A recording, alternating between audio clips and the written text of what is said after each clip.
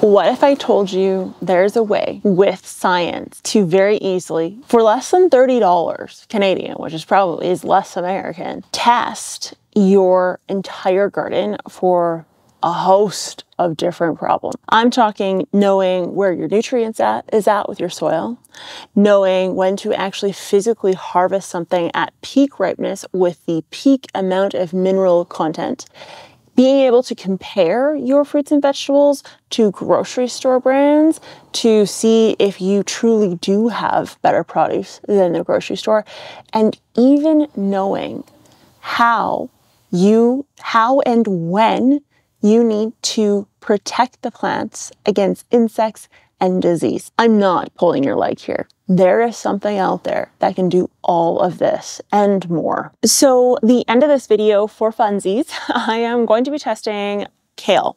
Now, the reason I'm testing kale, I'll show you how to test like regular produce as well, like tomatoes, for example, but I'm going to be testing kale and specifically comparing grocery store kale to garden kale to see if I have higher nutrient and sugar content in them, uh, specifically for my garden. I want to know if I'm better than Galen Weston essentially, which we already know I am, but we just need scientific proof at this point. The reason I'm choosing to compare those is because they're slightly different in how you test a green leaf versus a tomato or something like that But I will show you how to test tomatoes and jalapenos and all that fun stuff as well. It's just the comparative is going to be between two kales. And you guys actually can do the rest of it on your own and let me know in the Facebook group or down below in the comments how it turned out. Whether or not you have produce that is better than the grocery stores. So what we're looking at is something called Brix.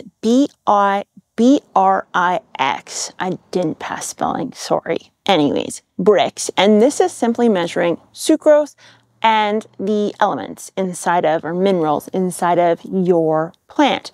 This can be used on the physical biomass foliage, meaning the stems, the leaves, you name it. It also can be, and famously is mostly used on the actual physical produce. So whether it's a grape, which is where it's mostly used is in the wine industry, whether it's your tomatoes, your jalapenos, etc. and so forth. Now we know all biomass, both above ground and below ground, is a result of the nutrients that your plant has pulled out of your soil, which means that whatever nutrients is in your soil is now in your plant. And so this is why we have to fertilize. We are taking stuff away from the system. A forest, a grassland, everything stays in place. And before you say the plant, the, the, the animals run off with the nutrients, no, the animals eat it and then they in in the field. So technically everything does stay there. It just gets moved around a little. So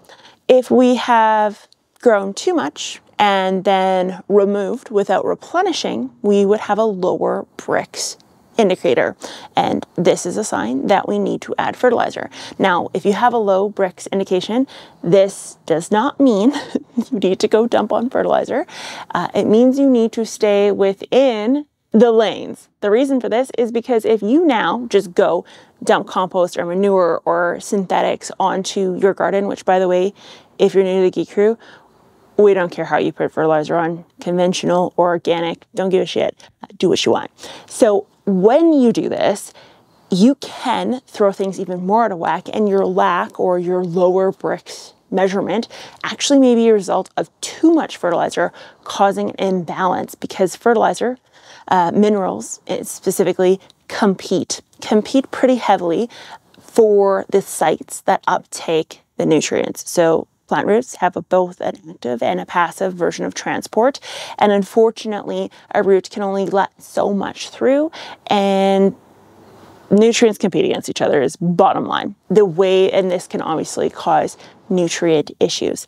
The other thing to look at is how you water. So if you're going through a drought year, if you know your watering hasn't been up to snuff, so if you have things like blossom end rot, um, wilting plants, you know you were in a drought, you can expect a lower Brix indicator because the plant has been able to uptake less stuff. Now I do have some tomatoes with blossom end rot and I have some that are healthy. So I am going to compare the blossom end rot ones to the regular ones, same variety, same plant even, to see if there is a difference in the actual Brix value between the very clearly malnourished tomato and the ripe plump one. Now, one thing we can do if we see a low Brix value and we think it's a result of our soil nutrients, we can pivot and try to make up for lost time. The way we would do that is for through foliar fertilizer. Now, not all nutrients can be take up taken up through foliar applications, but there are some, most of which are micronutrients. But it's an indication of low nutrient content, and regardless of the reason, whether it's too much fertilizer or under fertilization or lack of water. The way to get it into the plant without risking causing more damage is to foliar apply that and see some better results. So that's a way to pivot quickly without going crazy. Okay, so the next thing before we get to testing is looking at Brix from the perspective of its ability to tell us how and when we are going to end up with an insect, a fungal, or a bacterial issue. Okay, so let's look at pests first. The insects themselves don't like sugar content. They're orthorexic in a way, and because of that, they don't choose to and won't chew on plants with a higher Brix value. The sugar content is simply too high. Eight is the comfortable one. Some people say 12. Eight in theory probably is good enough. And keep in mind, this is one factor of many that can determine whether or not you're going to have a pest issue.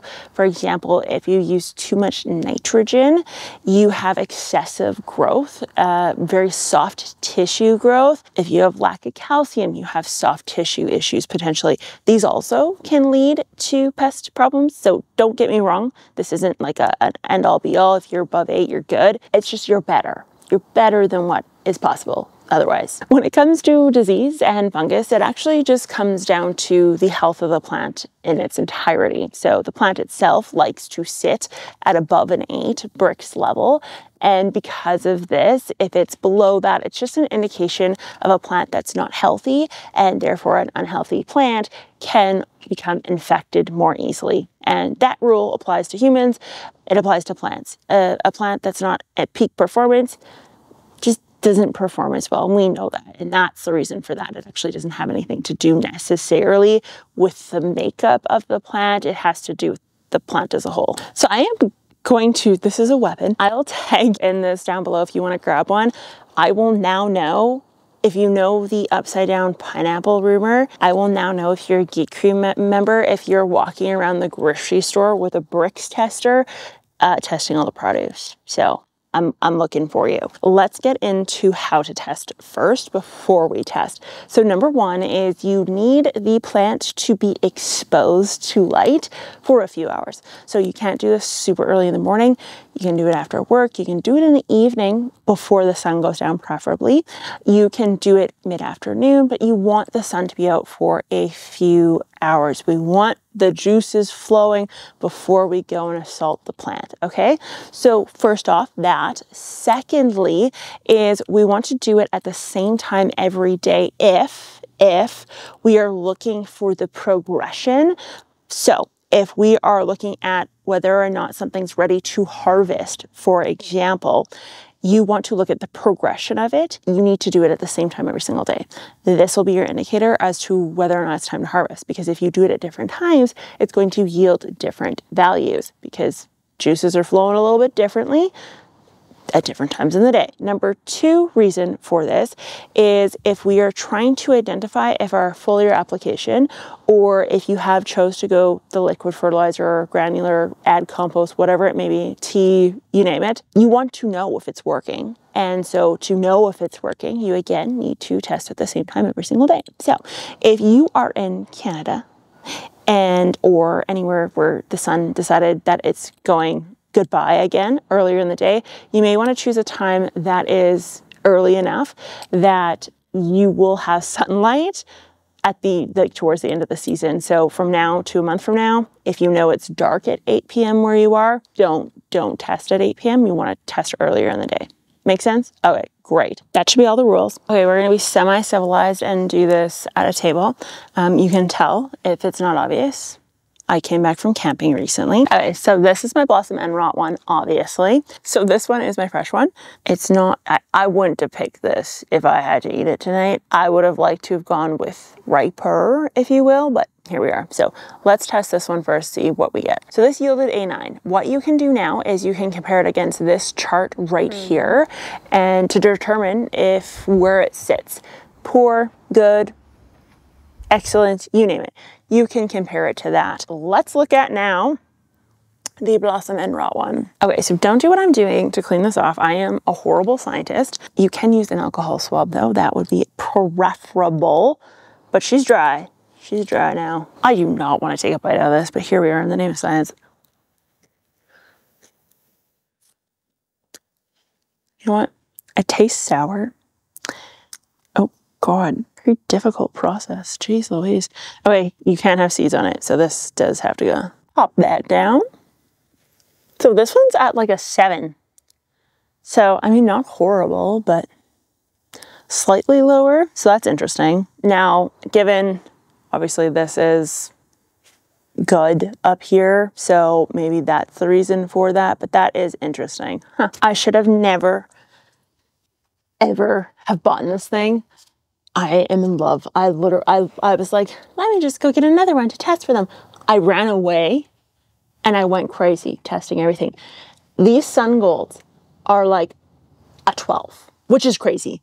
Um, they're delicious, but they're a 12. Very cool. I am a broken human with not enough hobbies uh, and not enough friends, clearly, except for you guys. Uh, I just tested some cherry tomatoes that I, same kind, Sungolds, um, that I harvested three, four days ago and I put in the fridge and I shit you not, the Brix value's lower by five.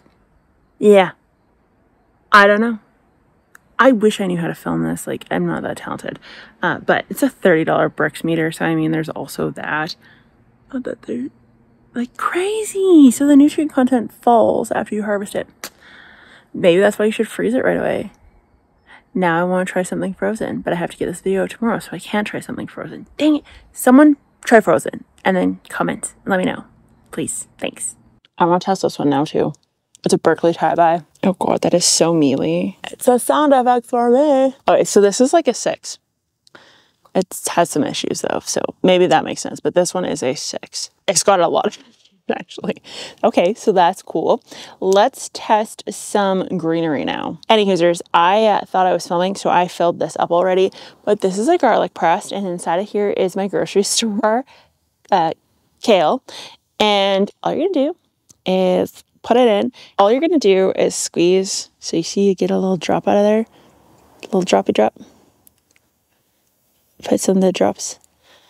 I do not have the hand strength for this. I'm just, I'm just a girl. I need some man strength up in this beach. Okay, there we go. Thought that, that's like my that's my favorite thing to do. Okay. Oh no! What you want a kale shot? You're that kind of a dog now? I don't think so, Bucko. Okay, I'm sorry. My grocery store kale is just hammered inside of that. By the way, the garlic press hack is literally what you use in the field. So that's kind of funny. Holy crap. Okay, this one is shocking. It is like tops three. I don't know what to expect from my tastes like green juice, I guess. Okay, I gotta get the grocery store kale it is. That was like tops three, maybe four. Um, so that was interesting. This needs to come out. My dog thinks he's a herbivore now. Never in his life has he touched a friggin' green thingy. He's like meat only type plant or dog.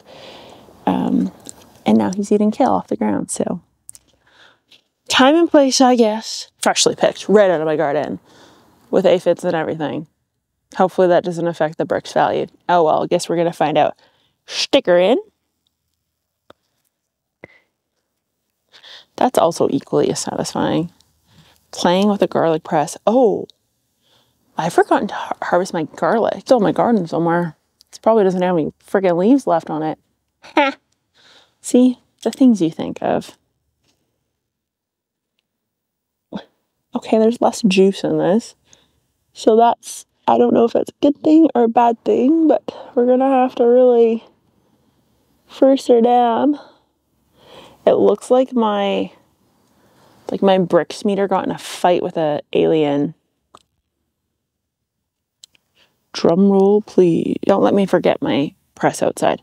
Please comment down below. Did you forget your garlic press outside? Ashley, it's outside. I will misplace this and lose it for like six months and be like, oh, my garlic press. Even though I put it just right there. I've got man eyes sometimes. Is it five? It is at approximately a five. So there you go. It's at a five, which is interesting. Maybe that's why it has aphids. I don't know. Very possible. It was covered in aphids. Like it was bad. Not good. Not edible. It's going to live out its life peacefully in my garden without me mutilating it this next little bit. Uh, any Hoosiers, if you want to learn more about some tomato tricks and things I tried that yielded success, this video here.